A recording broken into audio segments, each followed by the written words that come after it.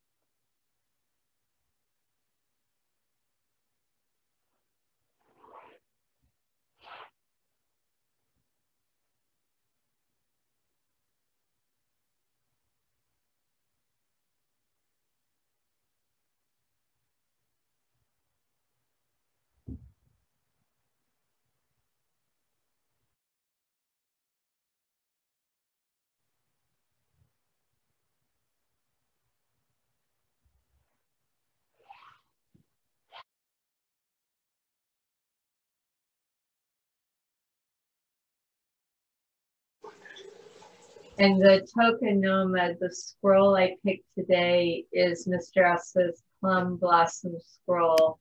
And I feel that's so important. Um, plum was his uh, mother's family's crest, and the tea uh, kettle is from passed down through his mother's lineage.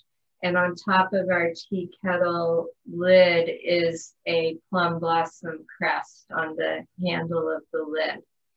And plum blossom is always very interesting to me. And we do have one plum tree in our garden here at the Kaji Aso studio.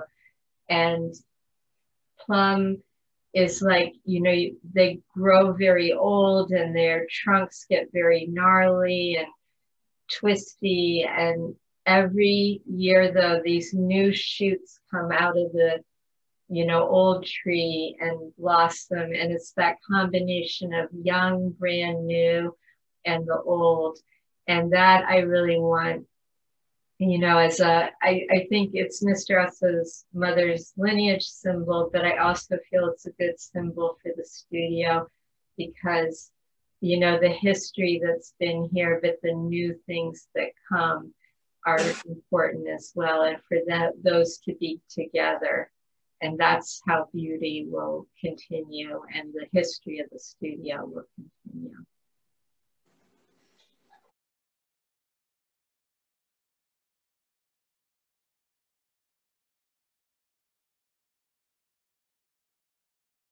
To me, tea is a, a way of life in which we, we try to appreciate every moment. And um, we do it, especially in tea, but, but it's important to me now because it's a way of thinking of all of life.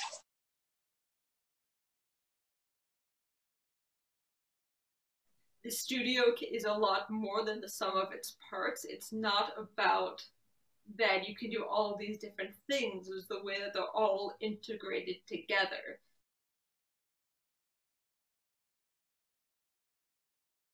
even though I never met Mr. Aso, I feel like you can really feel his spirit in the place and not just the attitude of the people and the story and the memory, but almost in the walls of the studio itself. Like there's a very grounded presence.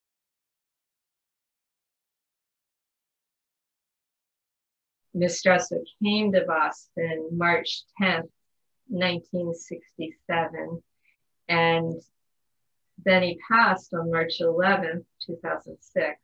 But I like to remember about him coming to Boston because, you know, that was he he didn't have the idea of the studio at that time. That kind of naturally happened after his students met him and really wanted to continue working with him. One of those early days when he was first in Boston, and this nice springtime, like even today in Boston, the sun is shining. It's cool, but it's not super cold. And he wrote this haiku spring water on the back of fish, light fragments.